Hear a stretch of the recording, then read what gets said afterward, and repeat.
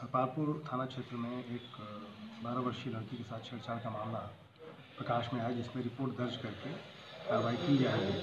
और जो अभियुक्त है उसकी गिरफ्तारी के प्रयास किए जा रहे हैं।